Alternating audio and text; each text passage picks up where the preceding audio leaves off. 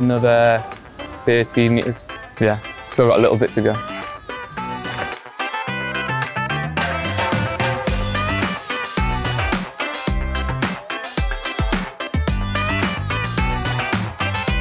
I think each of the sites has its very unique and differences. For example, Barn Elms, I would say lots of uh, ecology related, lots of green areas, lots of subcontractors also on the way. We're doing improvement works at the moment. And basically here, what's happening at the moment is shafts. At the minute, we're currently about nine metres down into the ground doing the SCL.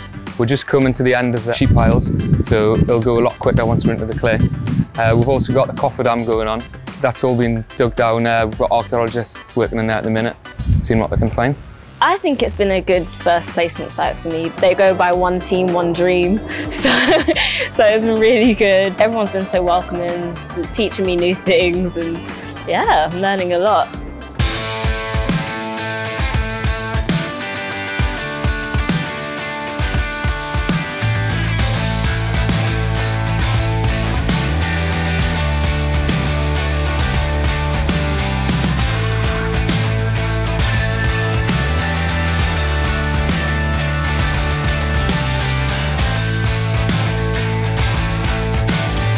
Hi, I'm Anna Hamad. I am a construction engineer here at Albert Embankment. We are in Cofferdam 1 at the moment where we have finished uh, excavating the first phase of our shaft.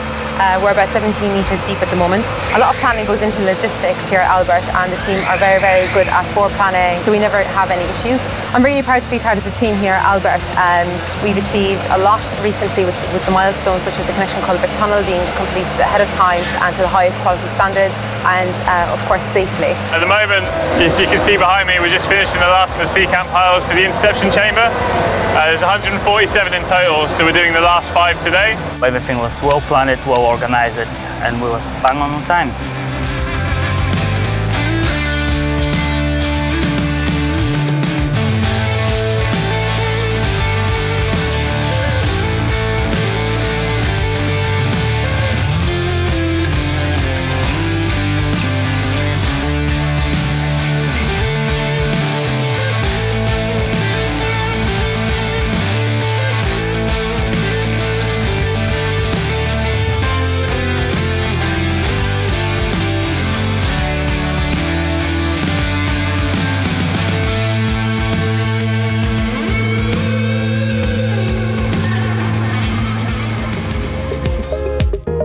This site is a, is a new site. It's just here to build the TBM. As you can see behind us, the TBM is a large, large bit of mechanical kit to be working on. When it's fully assembled, it'll be transported from here all the way down to our main site at Greenwich.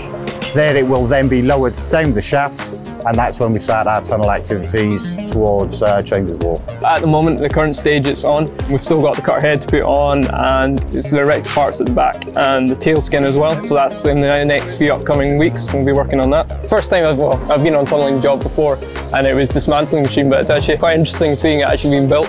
It's been a great experience. It has its complexities with heights and all that stuff, so we have scaffolders and they are working very well at the moment and the progress is very good.